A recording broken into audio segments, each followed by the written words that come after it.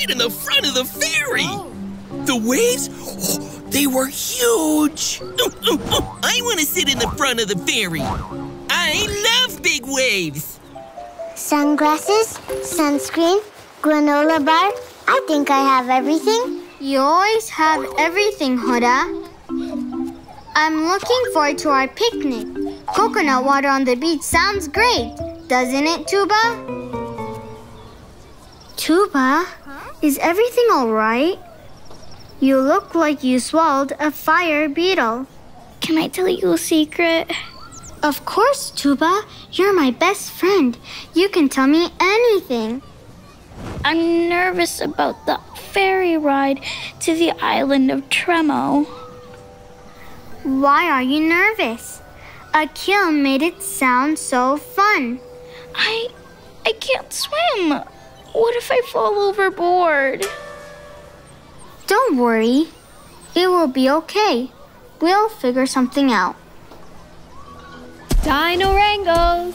Permission slips, please. No one can go on the field trip without a signed permission slip.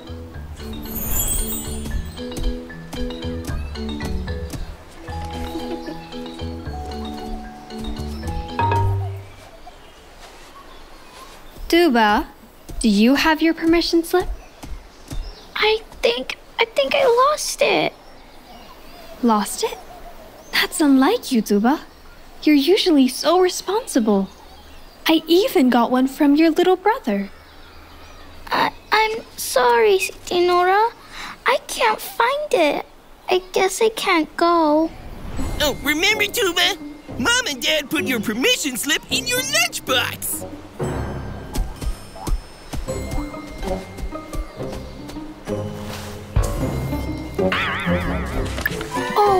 I I guess I forgot. Looks like you can come to the island of Tremo after all. Great.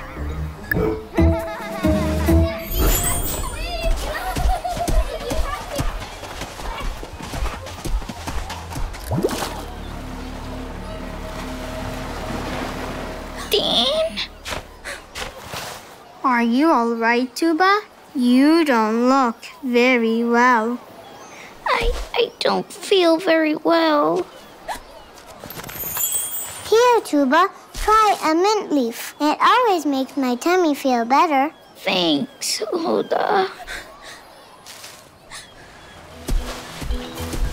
Absolutely fabulous. The island of Tremo is a must-see.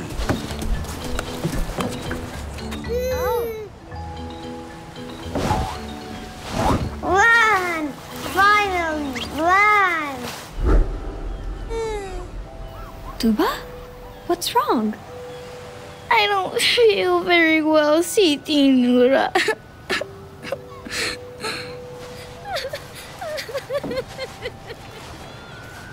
Hmm. See that tree over there? Why don't you go sit in the shade for a little while? It's not time to board the ferry just yet. I'll go with Tuba. Thank you, Dean.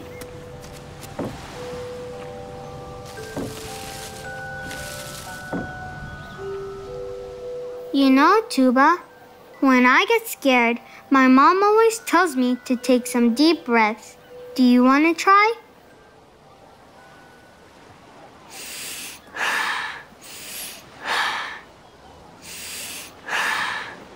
How are you feeling now, Tuba? Siti Nura, I, I'm, I'm scared. That's okay. Let's talk about it. What are you scared of? Scared to cross the water on, on the ferry. I, I can't swim. It sounds like you're feeling anxious. It's quite understandable.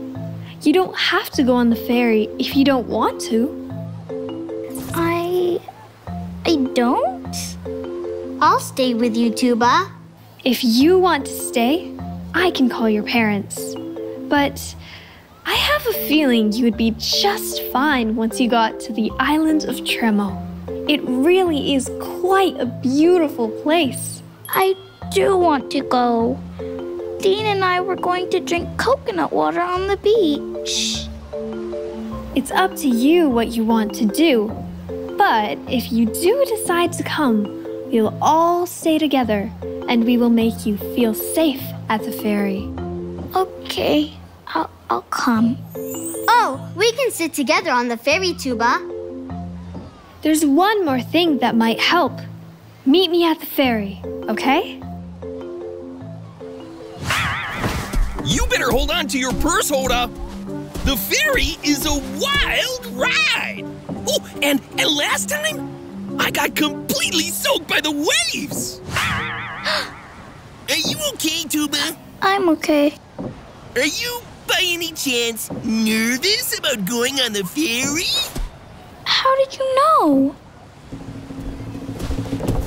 Because I'm nervous too. You are? Yes! Akila's been talking about how bumpy and splashy the ferry ride is going to be. It sounds scary. Don't tell him I said so, though. I won't tell, but I'm glad I'm not the only one who feels nervous. Tuba, if you're still feeling sick, you can hold my shell. Thanks, Huda, but I'm actually just a bit anxious about going on the boat. It works well for anxiety, too. In case you didn't know, I'm afraid of heights. Really, Huda? But I've seen you climb the hill by the schoolyard before. I have to climb the hill to collect the best rocks. My special shell makes me feel better. And I tell myself, I can do it. Thanks, Huda. Life jackets are mandatory, class. Safety first, Dino Rangos.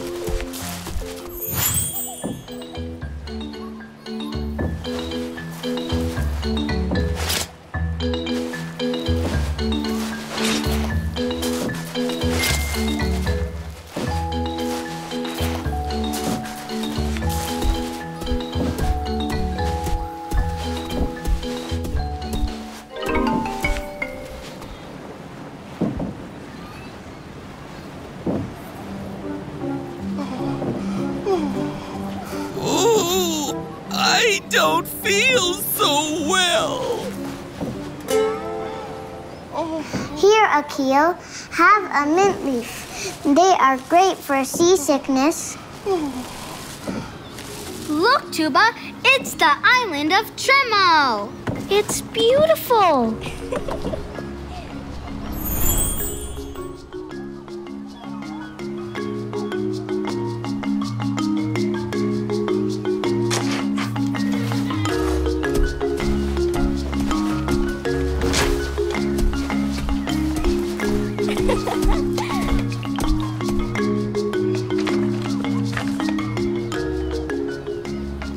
Are you glad you got on the ferry to come here? Absolutely. And thanks for helping me get over my anxiety.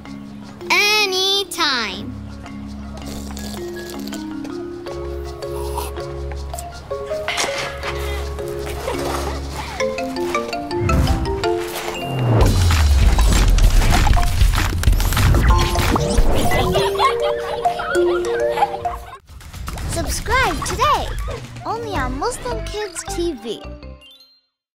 This doesn't look too good. I'll write you a new prescription. No, don't. I got my report card. Bravo, Habibti. And good you're back. Mom's worried. Everything is so expensive. I'm afraid we'll have to take Wardi out of school. No!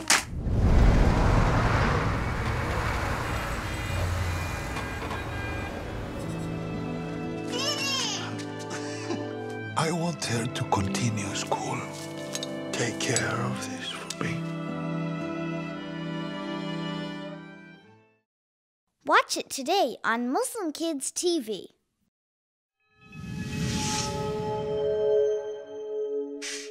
So, where was the world's first hospital? Khalid asked, his eyes shining. The three children and their teacher sat in the large metal time machine. They were ready for their next adventure. Do any of you know where it was? asked their teacher, Mrs. Habiba. Well, said Abdullah, I remember reading about a hospital in Baghdad. That's right, Mrs. Habiba answered. Now we just need the year, said Layla. She typed in the location. The year should be 805, Mrs. Habiba said. Khalid punched in the date. The time machine started to shake and vibrate. After a bright light flash, the kids peered out the window. They saw a large mosque and a building beside it. Many of the first hospitals were built beside masjid, teacher Habiba explained. Was it really the first hospital? Layla asked. Well, it was the first hospital with real doctors who tried to help people get better. Mrs. Habiba said. What were the other hospitals like? Asked Abdullah. Before the Muslims built hospitals, Christian monks took care of sick people. But they didn't try to help them get better, they just made sure they weren't alone and prayed with them, Teacher Habiba explained. The Muslims were the first people to use medicine to treat sick people in hospitals, Teacher Habiba continued. Do you know what the Prophet Muhammad said about illness? I know, said Layla. It's in the Hadith. God never inflicts a disease unless he makes a cure for it. Very good, Layla, teacher Habiba said. Let's look around, said Khalid. The children and their teacher walked closer to the big hospital building. They saw people walking around carrying baskets of food, herbs, and water. Who built this hospital? asked Abdullah. Harun al Rashid. But we actually don't know a lot about this first hospital. Soon after, many more hospitals were built, answered Mrs. Habiba. Are those people doctors? asked Layla, watching some men walking in the door. Maybe, answered their teacher. They could also be students. At some point, the early Muslim hospitals became places where students learned how to be doctors. Just like today, Khalid said. We should probably get going, Teacher Habiba said. Where will we go next? asked Abdullah. Wherever we go, let's find some food, Layla said, rubbing her belly. They all laughed as they climbed into the time machine. You are watching Muslim Kids TV. Subscribe today, only on Muslim Kids TV.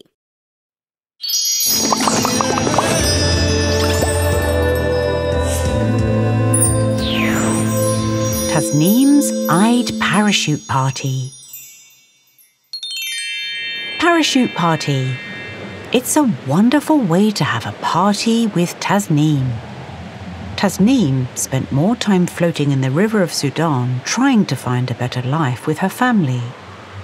Looking at the sky while resting, she imagined herself falling from the sky instead wearing parachutes, where she is able to direct it to go and be safe. I beamed when I saw the airplane. Ali, I said to my brother, the airplane is here. We are going to be flying soon. We both jumped up and down and clapped our hands. We hugged each other tightly. This is the best Eid present ever, said Ali. The roar of the engine was soon close to us, and wind whipped down the runway. Soon, the airport staff put the stairs up to the airplane, and the pilot opened the door. I turned around to look at my parents' faces. My mother and father were both smiling bright, big smiles. Then I grabbed their hands and we walked up the stairs and onto the airplane, where the pilot welcomed us aboard. Welcome aboard, Tasneem and Ali, said the flight attendants and parachuting experts. Within a few minutes, we took off. We each had a window seat. And, with seatbelts fastened, we watched as the ground faded away into the background and the clouds took over. Then we cruised over fields, grassland, rivers, and lakes.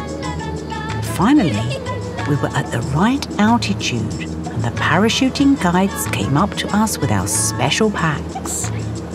They explained that each of us would parachute down with one of the guides. We would land in the middle of a big field all together.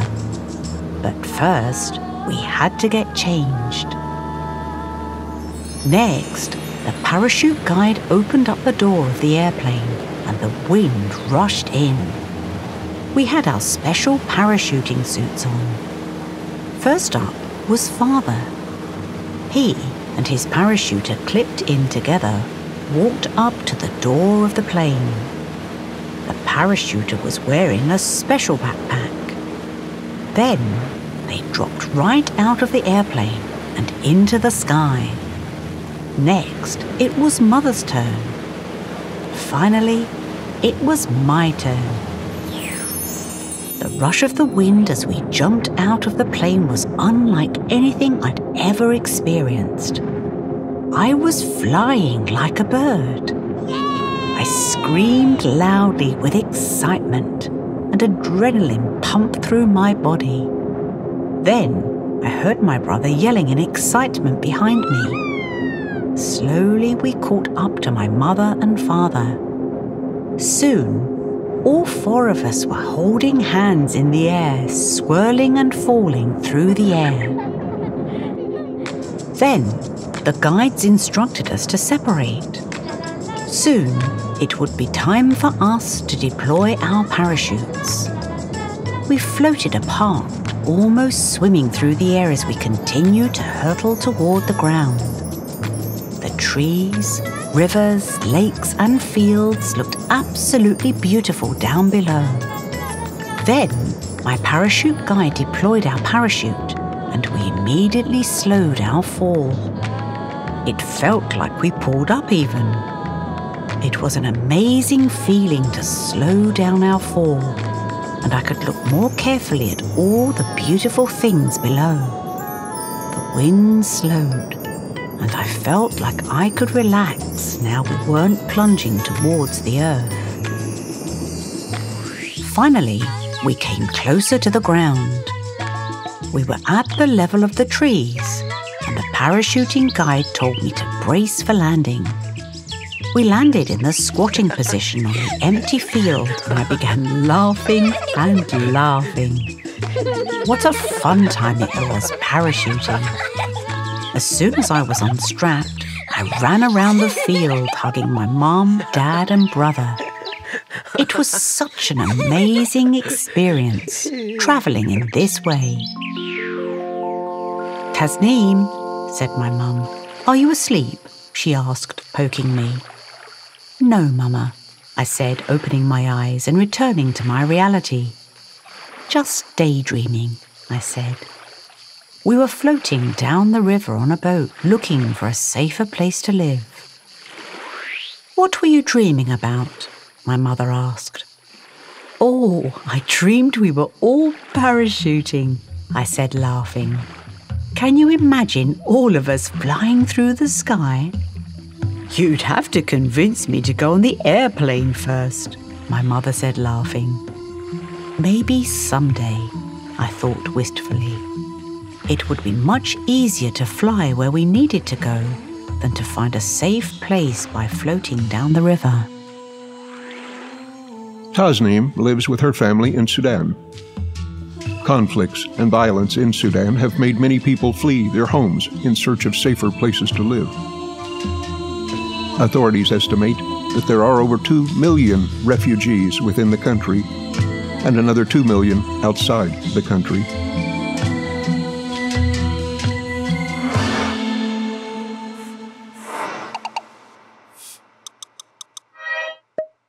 Subscribe today, only on Muslim Kids TV.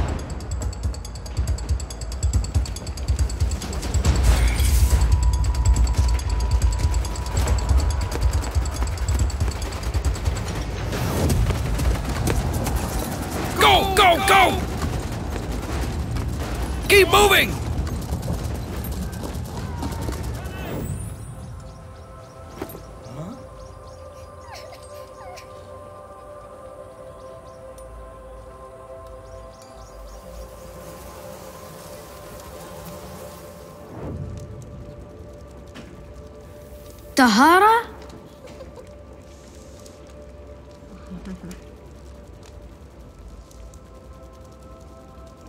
Where are your parents?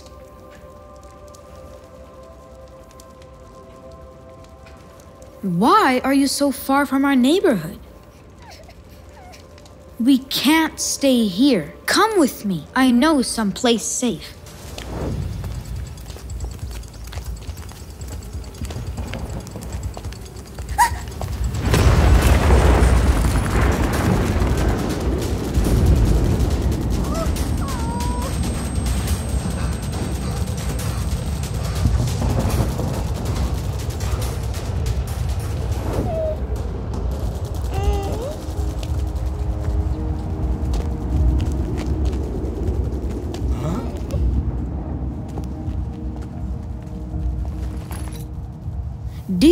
Remember me, Tahara? I'm Ahmed.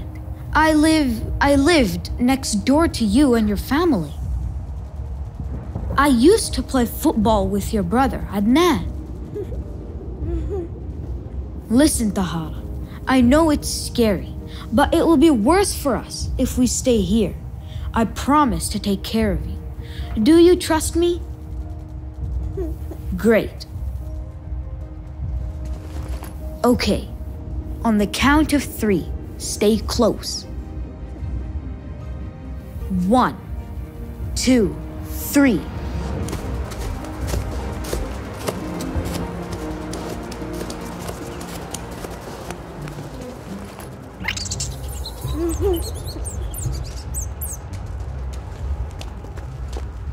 Tahara, what are you doing?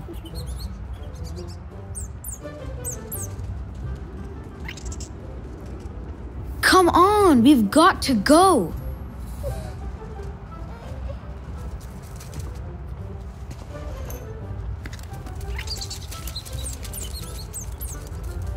Now, can we go?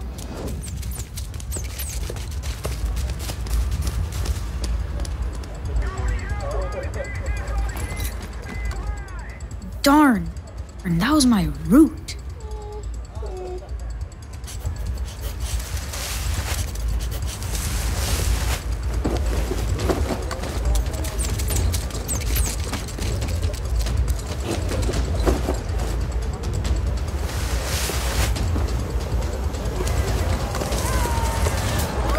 Stop right there!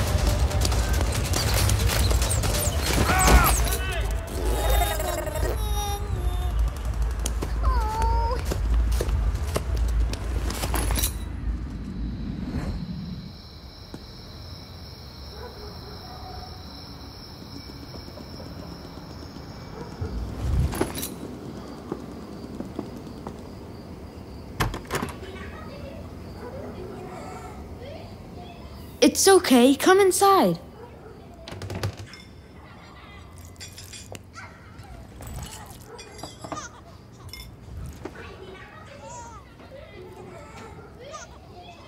Come on in now. Don't be shy. Close the door behind you.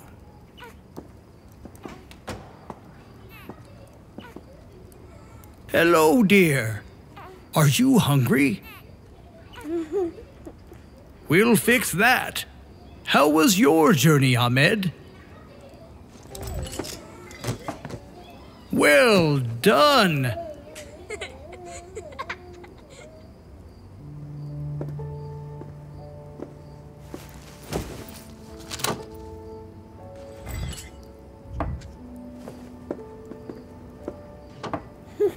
I'm. This is Tahar. Her family lives next door to me. Her brother is my friend. You are welcome here, Tahara. Tahara, this is Amu Bassam. He's a friend. Do you know where your parents are, my dear? That's okay. Ahmed will help you get settled in. All right, Aya. Time for your nap. But do you know where I put my glasses?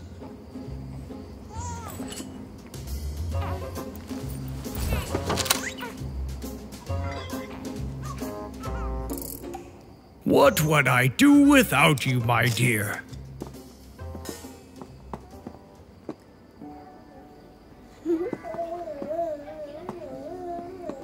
Since the fighting started, Amu Bassam lets us kids stay at his house, or what's left of it.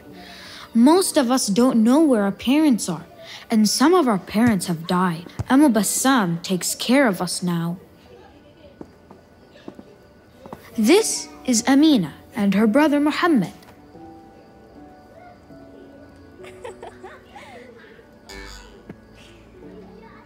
Mohammed, say hi to the new girl. Ooh, what's your name? Her name is Tahara.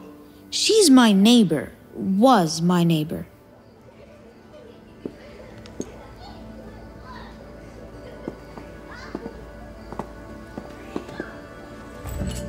You can have my blanket.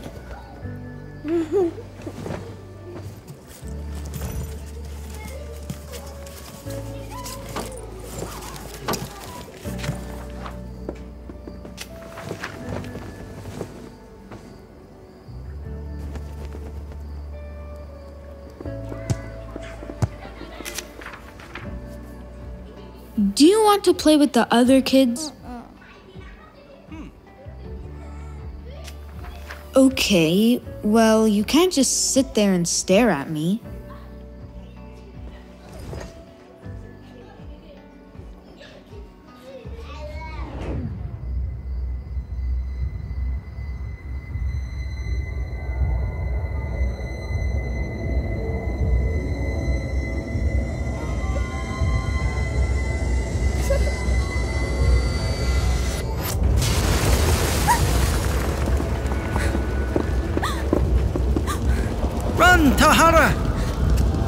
Stay safe! We love you, Tahara. Follow me! Run, Tahara!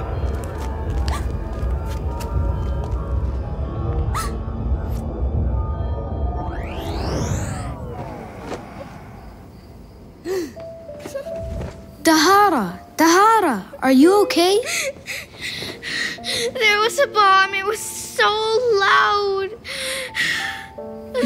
Worry, it's just a dream. No, it was real. I was so scared that I just ran. Then what happened? I ran and I ran and I don't know where my family went. I hid until you found me. Now I don't know where they are, and it's all my fault. That's not your fault, Tahara. You did what your family would have wanted you to do survive. Where is your family? They are not with me anymore.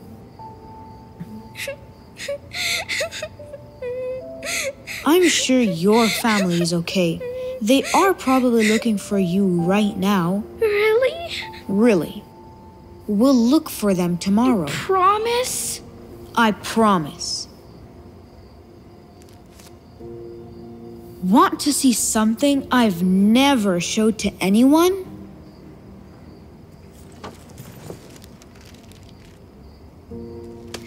Is is this your family? That's my dad and my mom. And this is my dad's best friend, Doc Mohammed. I always liked his mustache. He's the one who sent all these postcards and letters.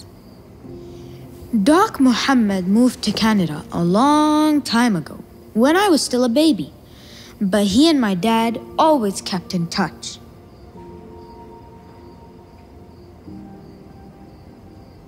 Will you read one to me? Sure. My dear friend Omar, I hope this message finds you well. I have arrived in the Thunder Bay, Ontario. Although Canada stretches much farther, this is the farthest north I have ever been.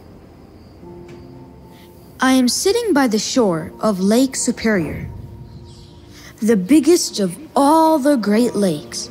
It's so big you might mistake it for an ocean. I feel a sense of calm here, next to this big body of water, surrounded by land and trees as far as the eye can see. Little Ahmed would love it here. I know he has a fondness for animals. There are many fish in the lake and little squirrels running around on the dock. Yesterday, I even saw a fox. The best part is the magic that happens here at the night. I look up and see the moon and the stars, and I'm comforted because this is the same sky that I have looked upon all my life in Syria. There's one thing that we don't have at home the northern lights. You would not believe your eyes. Green, violet, and magenta hues swirl across the sky, and I cannot help but think it is some kind of magic. Someday, my friend, you must visit me here. Send my love to Farah and your beautiful boy Ahmed. By now, he must be running around the square just like we used to. All my love, Doc Mohammed.